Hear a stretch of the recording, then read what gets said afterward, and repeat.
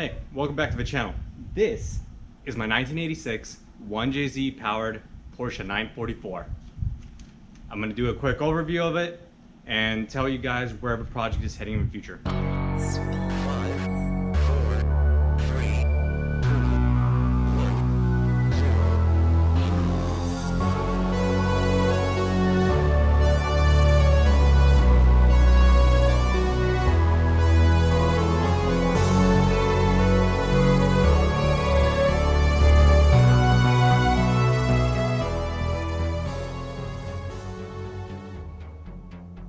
Pretty shortly after I got the car back in 2008, I ended up deciding, hey, here's a great idea. Let's tear out the motor and put something with more power in. it. And of course, I didn't want to go down a route that everybody else has already charted because that'd be too easy, right? So I decided to do something completely different. I'm like, hey, turbo whooshy noises. Let's put in a 1JZ. JZ engine, no shit. And what did I tell you? So I pulled the stock motor out, uh, made adapter plates for the engine to the original stock 944 drivetrain, and dropped the 1JZ motor in it, in its stock form. So the bell housing clutch adapter plate uh, was a quarter inch steel, built that from scratch, uh, got it all installed in the engine bay and got it running. And then ended up moving. And in the move, I decided, you know what would be a great idea? Why don't we just take everything we did right now and toss it in the trash and start over by putting the entire Toyota drivetrain into the 944. So engine came back out, Easiest way to get the engine out of a 944 by the way, is to lift the 944 over the engine.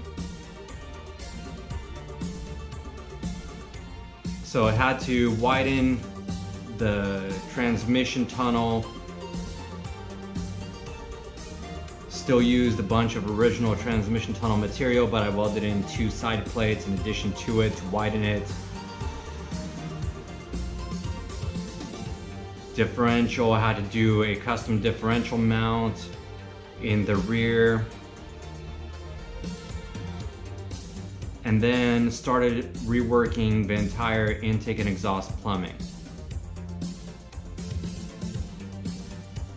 So I ended up putting in a GT30 turbo in there, uh, 73, 63 for ratios, and aftermarket fuel rail. Originally I went with 400cc uh, Bosch Big Green injectors. And then in the rear we went with a 10 gallon fuel cell and a AEM pump.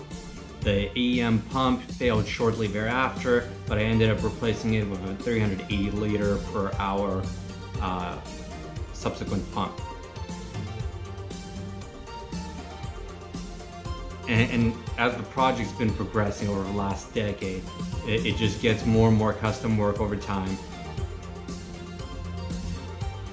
So at this point, it's getting pretty close to be drivable and complete. There's still a lot of work that needs to go into the project, and we'll keep working on it. So this wiring nest here, what I'm going to do is eventually I'm going to take all that, rework it, and put in what is called an M-Unit Blue. The M-Unit Blue is a controller that it, basically once you turn the key on, it automates everything else for the circuit relays and connection lights, everything. And it'll do custom blink cycles, fade in and out if you wanted to fade in and out, and also performs the job of uh, a relay block. So we'll be able to minimize our relay block and utilize this for customizing all the electronics in the car and do away with most of these buttons down at the bottom. So up towards the firewall, the brake master cylinder, obviously I could not keep the brake booster. It was just too confined of a space. Uh, with the original intake manifold, it wrapped around, it interfered even more than this aftermarket one that I have now. But we had to switch to manual brakes. And what that involves is a custom mounting plate. I used the stock 944 brake master cylinder and you just re-drill the brake pedal to add additional uh, downforce from your foot.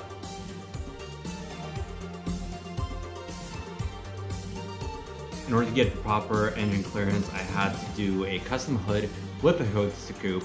So that is all fiberglass on there uh, for the skin and only the steel subframe exists for it.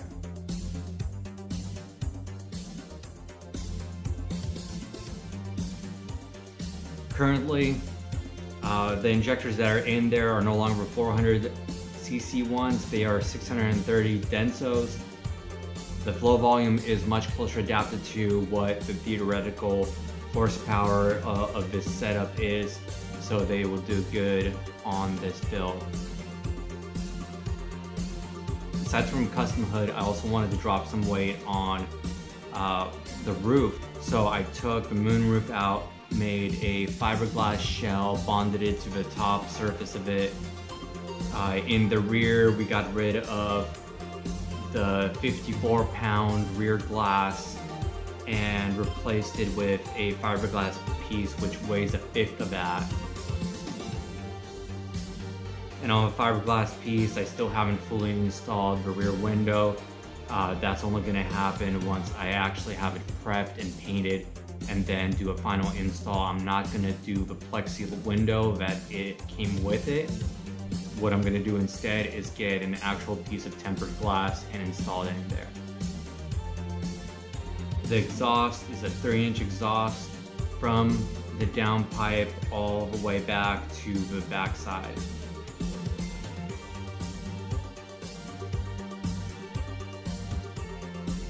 Differential in the car is a non-LSD unit right now. Eventually I'm gonna go to a Torsen. Uh, currently it's just a 4.3 to 1 ratio from a non-turbo Supra.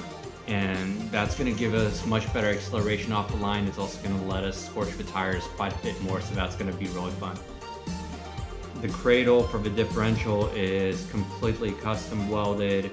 Uh, you have two custom drop down links on the front side of the diff the cradle on the back, and then a lower drop bar across the top.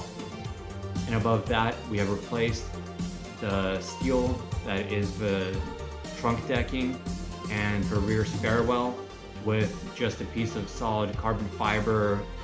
The wheels that I have on it are off of a 911. They are uh, 8 inch Fuchs. Everything on the interior has been completely gutted. There is not a single piece of interior left in there other than the driver and passenger seats. And even those, those are about 20 pounds lighter than the stock seats that come with a 944. For now, I have this center console in here with all the gauges. Eventually, I actually plan on uh, getting an AEM uh, digital dash right in the center.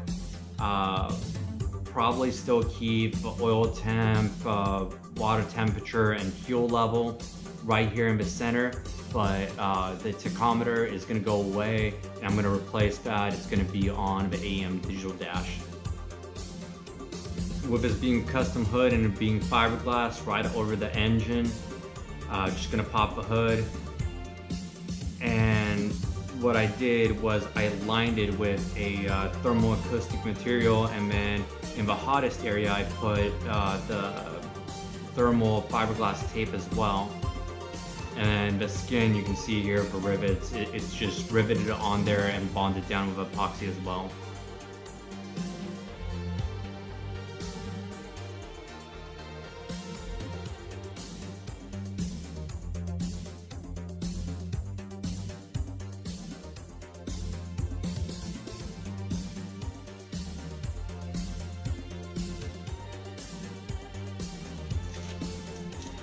So that's gonna be about it for the overview. And if you guys stay tuned, you can watch me do everything else with this on the next episode. Right now, what happened, So during the dyno video, you saw a couple issues happen.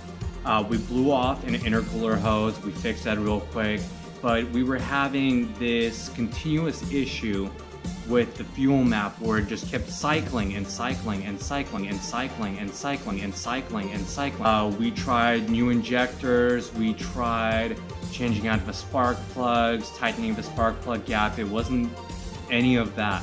Once I got it back home after not being able to complete the dyno tune, I started looking into it. The closest thing that I found that it could be is a vacuum leak or something to do with uh, idle air control valve. The next thing I want to do is I actually want to take block off the IACV and cap off all the vacuum lines and see if the problem persists because that is going to eliminate all possible vacuum leaks from the system especially given that it, it was indicating the IACV opening and closing to maintain the RPM as the fuel mixture was bouncing up and down. And I think those two going up and down was really what was the root of the issue.